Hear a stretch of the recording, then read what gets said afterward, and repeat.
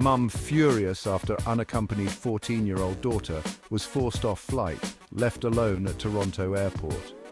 A spokesperson for Canada's Porter Airlines said they weren't aware the girl was a minor when they removed her from the aircraft. 14-year-old Camryn Larkan was removed from a Porter Airlines flight after she was already seated on the plane. She was travelling alone for the second time ever when the incident occurred on Friday, August 30th.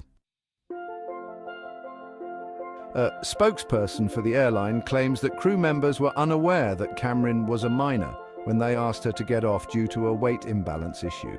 An unaccompanied minor was forced off a Porter Airlines flight in Toronto, leaving her parents outraged and accusing the company of endangering her. Camryn Larkan, 14, was heading home to Victoria, Canada and was already seated when crew members told her she needed to get off the aircraft, People confirms. Camryn, who was travelling alone for the second time ever, was reportedly not given any support or guidance from the Canadian airline during the August 30th incident, according to the CBC. Her mum, Catherine, told the outlet, they put my child in imminent danger. It was completely negligent and it shouldn't happen to any other minor.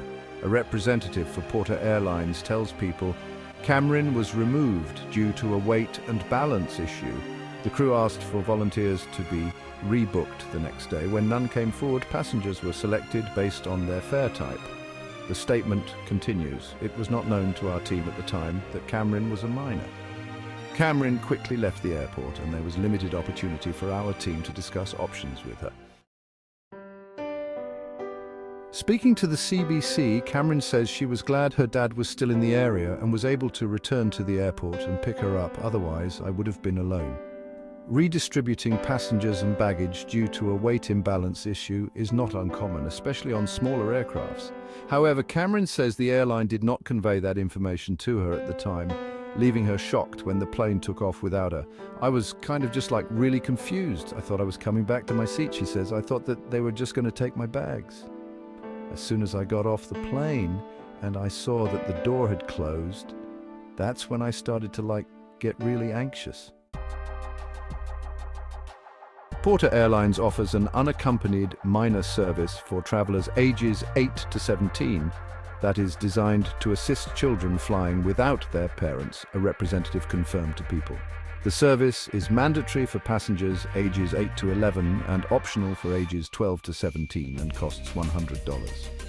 The service provides dedicated supervision by Porter team members and exemption from involuntary deplaning, the representative explained, adding, This service is at the discretion of the family to decide whether the passenger is capable of flying independently. In Camryn's case, the unaccompanied minor service was not purchased.